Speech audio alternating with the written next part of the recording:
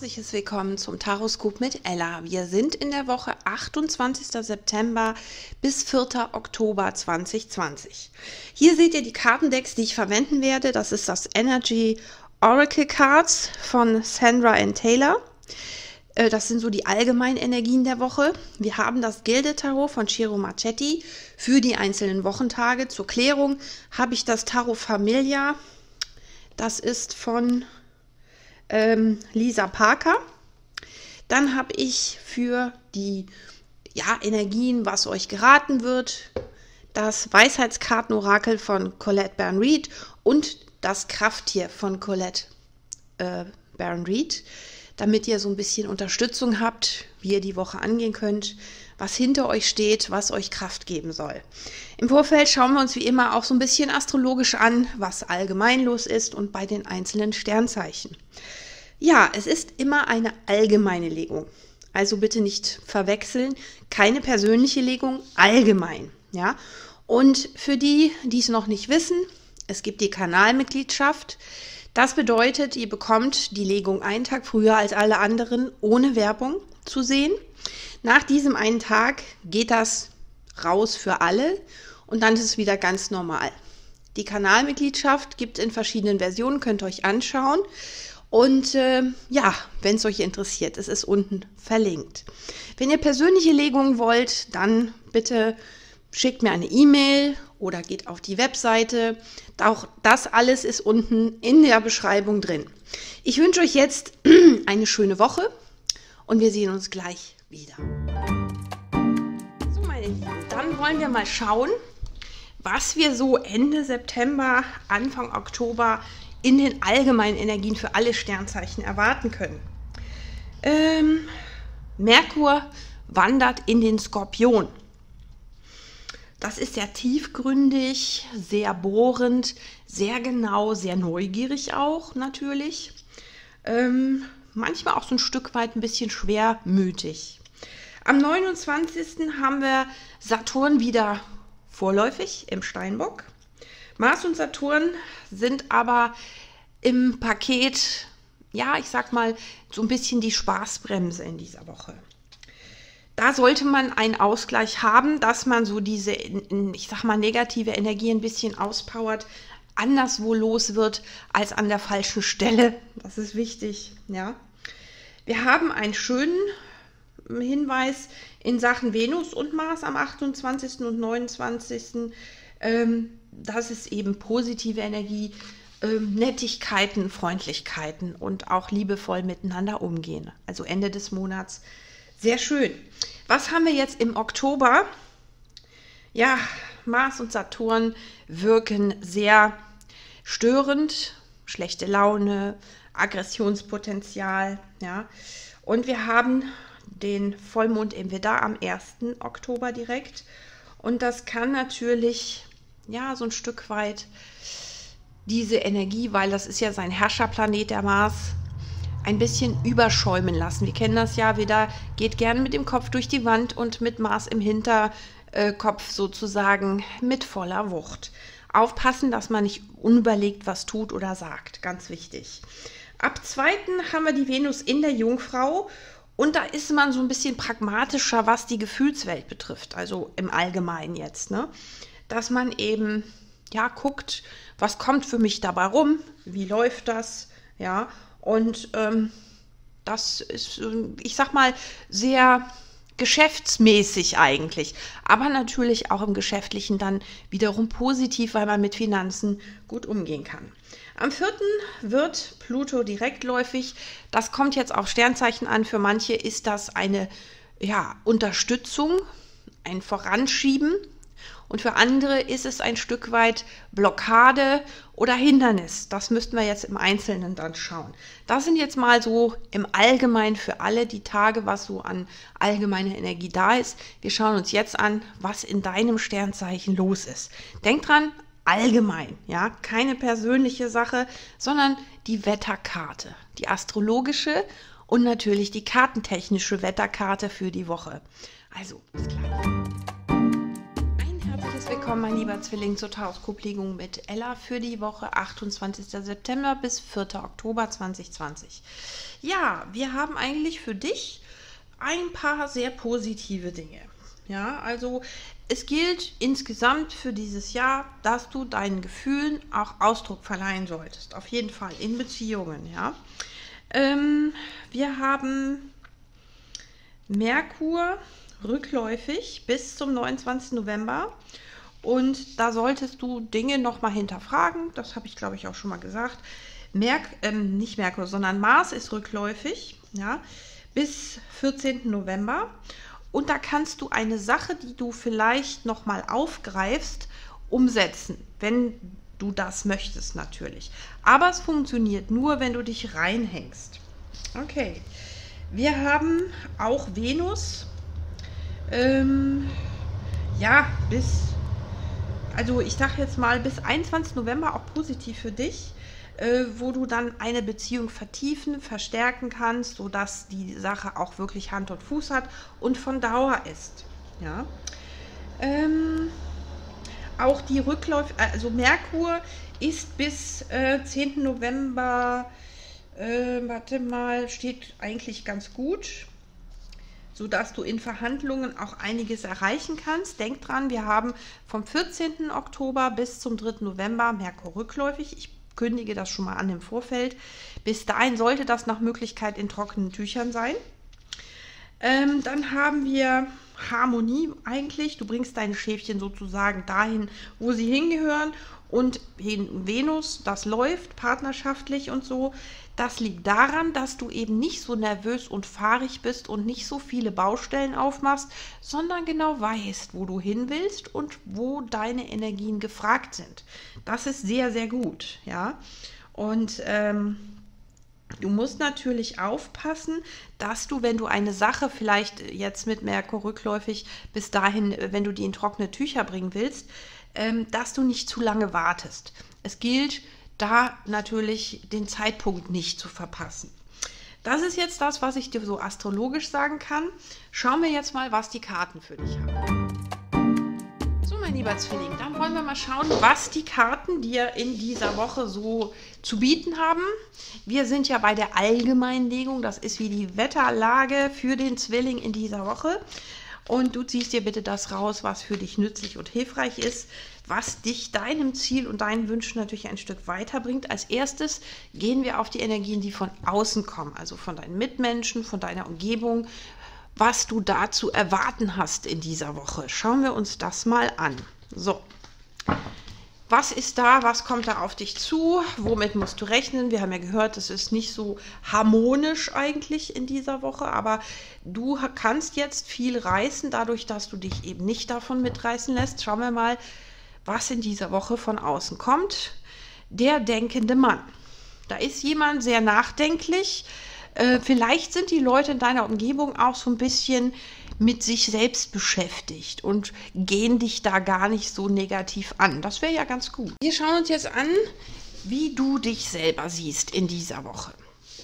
Was in dieser Woche dein Wunsch ist. Was du erhoffst oder befürchtest was gut für dich ist, was weniger gut ist und natürlich, wie die Woche für dich ausgeht. So, ich glaube, ich kann ein Stück nach links damit. So. Ich schaue mal eben in die Kamera. Ja, so ist gut. Kommen wir zu den Wochentagen. Wie immer, Montag bis Sonntag lege ich, aber das kann bei dir anders liegen.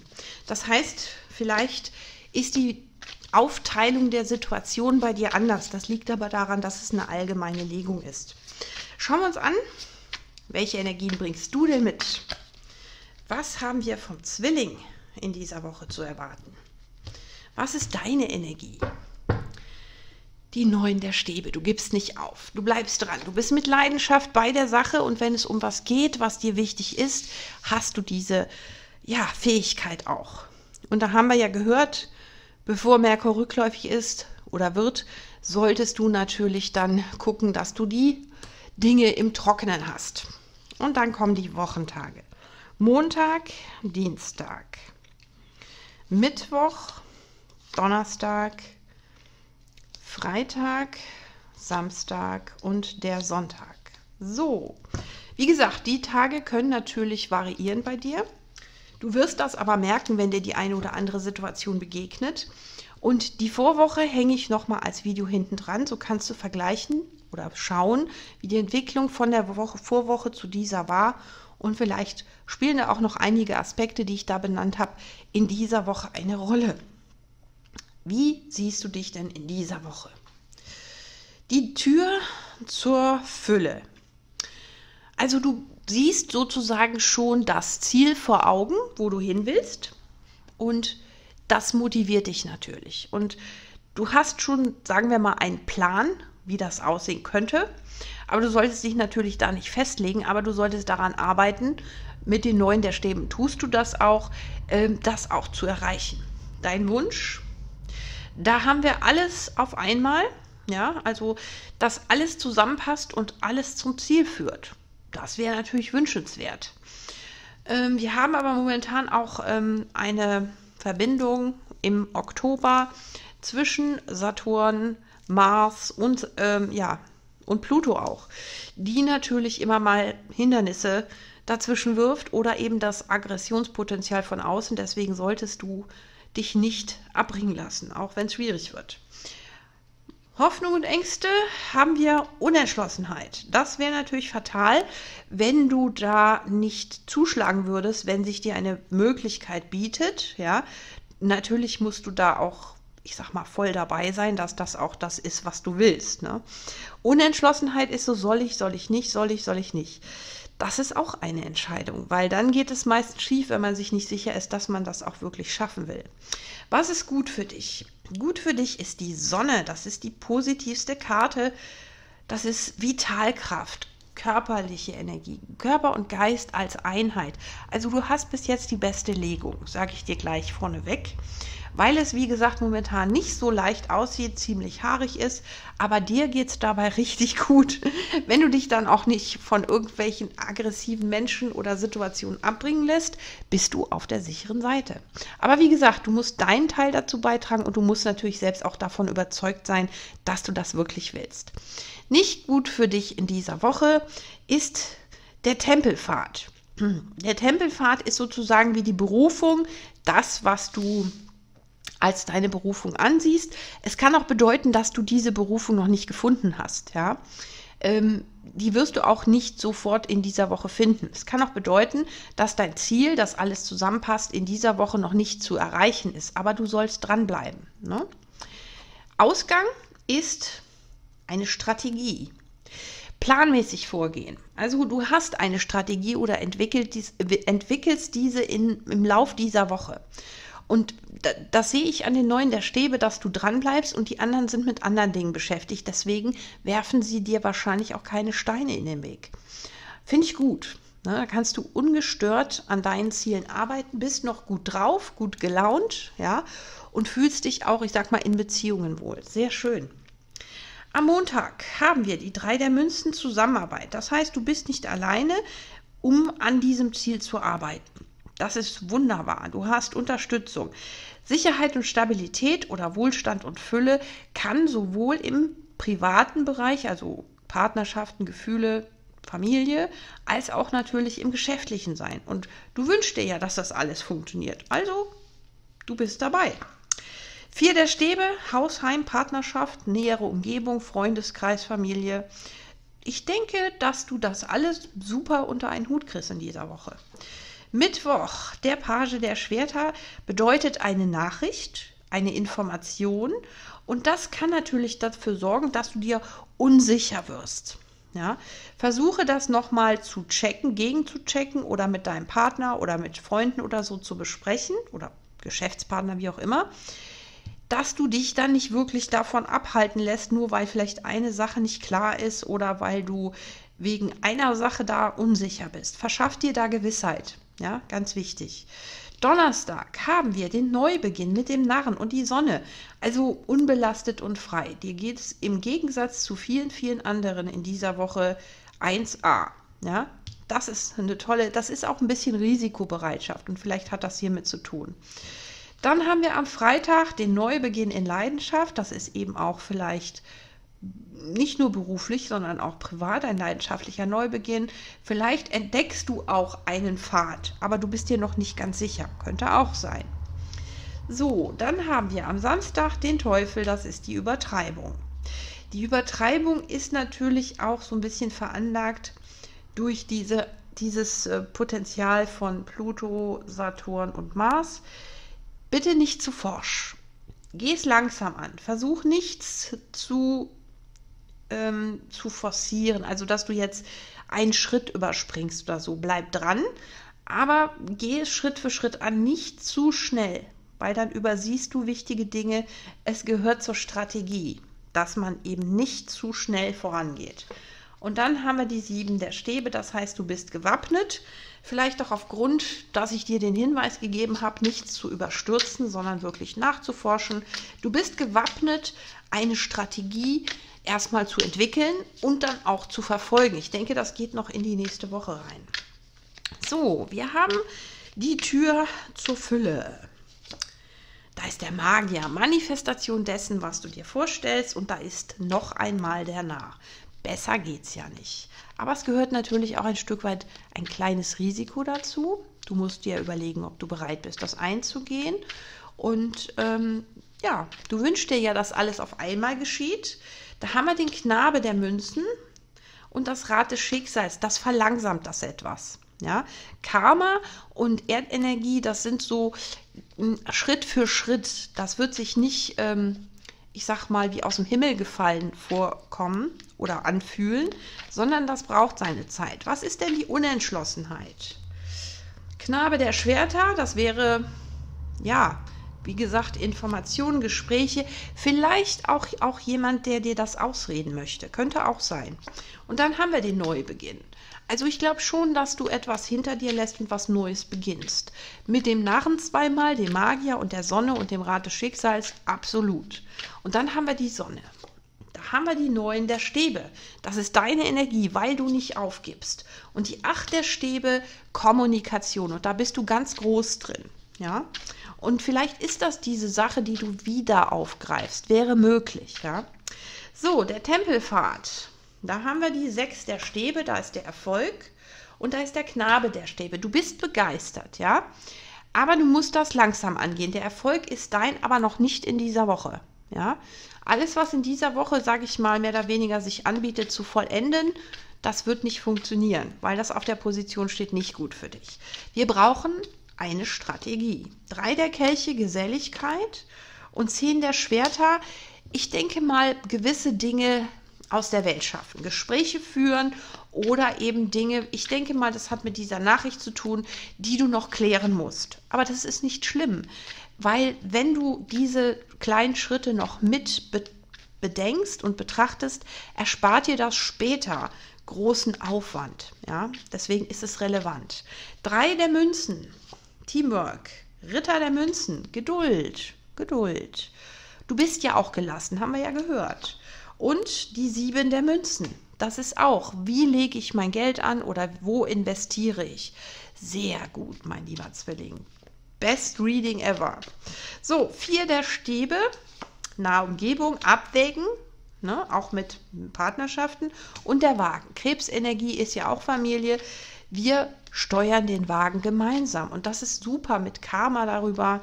Toll, toll, toll. Ne? Also nichts überstürzen, bleib cool, bleib gelassen, aber denk an jeden Schritt, den du gehen willst und lass keinen aus. So, was ist denn der Page der Schwerter? Zurückhaltung und fünf der Stäbe, Wettbewerb. Es kann dich vielleicht jemand ausbremsen, weil er oder sie dir das ausreden möchte oder Selbstinteresse hat, ja, und deshalb dich als, ich sag mal, Wettbewerber ausschalten möchte. Aber da ist der Narr, da ist das Ass der Stäbe nochmal und da ist die Neun der Schwerter. Ja, das ist Gerede vielleicht, unnötige Sorgen oder unnötige Panikmache von jemandem. So, das ist so intuitiv, ja. Und dann haben wir das Ass der Stäbe. Da haben wir den König der Kelche, Gelassenheit, Diplomatie und die Zusammenarbeit. Also du hast coole Leute, mit denen du das gemeinsam hinkriegst. So, was ist jetzt der Teufel in dieser Woche? Gerechtigkeit und Ritter der Kelche. Ich glaube, dass dir jemand Honig um den Bart schmiert und äh, irgendwie entweder auf Fairness pocht oder sagt, er wäre oder sie wäre fair zu dir, bla bla bla. Hör nicht drauf. Mach dein Ding, sag ja, ja, vielen Dank, geh deiner Wege und mach das, wie du das möchtest. Ja, es gilt, deine Einstellung zu überprüfen und dir nichts vorschreiben zu lassen, aber eben auch das gut zu machen. Ja, du bist gewappnet, Ritter der Schwerter und sieben der Stäbe. Das heißt, du wirst dich selber auch ein Stück weit ausbremsen, weil du weißt, dass das der sicherere Weg ist. Großartig, lieber Zwilling. Das sieht sehr, sehr gut aus. Also, dann bin ich gespannt. Okay, wir haben eine Karte nicht für dich. Okay, schauen wir mal. Die Nummer 6. Gut, vielleicht klappt nicht alles so oder eine Sache fällt weg, aber das ist kein Grund aufzugeben. Wir schauen mal. Grundbedeutung ein klares Bewusstsein davon, dass dir etwas versagt bleibt. Erfahrene Zurückweisung. Okay, vielleicht von etwas oder jemandem. Die Botschaft lautet, es gibt Zeiten, in denen sich das gewünschte Ergebnis dir zu entziehen oder zu verweigern scheint, so sehr du es auch ersehnst und darauf hinarbeitest. Es ist, als ob es dir nicht gelänge, Teilhaber am Spiel zu sein und du immer nur Zuschauer am Rande bliebest. Wenn diese Karte erscheint, so ist dies ein Zeichen, dass du jetzt nicht erlangen wirst, was du willst, dass dein Traum von genau diesem einen nicht in Erfüllung gehen wird. Dies ist eine Zeit radikal zu akzeptieren, dass dir nicht alles zugänglich ist, wonach es dich eben jetzt verlangt. Sei aber guten Mutes, denn es gibt wohlwollende Mächte, die das Beste für dich im Sinn und einen sehr viel klareren Begriff davon haben, was deinem höchsten Wohl dient. In dieser Zurückweisung liegt göttlicher Schutz, etwas weitaus Besseres, das dir echtes Glück bringen wird, erwartet dich. Habe Vertrauen. Also wenn hier zum Beispiel eine Absage drin ist oder jemand springt ab oder irgendwas in der Richtung, dann ist das eigentlich im Nachhinein eine gute Sache, aber es fühlt sich im ersten Moment nicht so an. Ja, es fühlt sich an so, boah, ne, Mist oder Ne? Bleib dran, lass dich nicht beirren und lass dich auch nicht von deinem Ziel abbringen, nur weil irgendetwas nicht genau so ist, wie du dir das vorgestellt hast. Das kann auch hier mit dem Tempelpfad zu tun haben, dass es eben eine andere Möglichkeit gibt, die besser passen würde. Wir haben den Bussard. Lass dich vom Allgeist führen. Das ist dein Krafttier. Sehr schön. Du musst Vertrauen haben, dass das einem höheren Ziel dient oder einer dir ein besseres Ergebnis verspricht. So, ich lese mal vor. Äh, bei seinem Flug hoch über der Landschaft hat der Bussard sowohl das große Ganze als auch die kleinen Details im Blick. Er nimmt den Regen wahr, den Teich, die Wolken, nichts entgeht seinem scharfen Auge. Wenn der Geist des Bussard zu dir kommt, bist du aufgerufen, genau auf die Botschaften des Allgeistes zu achten, die überall und in jeder Form in Erscheinung treten können. Folge deiner Intuition und gib Acht auf Synchronizitäten, das bedeutungsvolle Zusammentreffen von Ereignissen. Der Bussardgeist fordert dich auf, keines der Zeichen abzutun, die der Allgeist dir sendet. Bist du in letzter Zeit immer wieder denselben, demselben Wort oder einem bestimmten Lied begegnet oder bist du an den unterschiedlichsten und seltsamsten Orten auf dasselbe Symbol gestoßen? Vielleicht hörst du einen Song im Radio, dessen Text genau zu deinem Anliegen passt oder dir fallen Werbeplakate, Nummernschilder oder andere Objekte ins Auge, auf denen du immer wieder bestimmte Zahlen oder Wörter liest. Achte auf die Tiere, die deinen Weg kreuzen und verbinde dich mit ihrer Symbolik.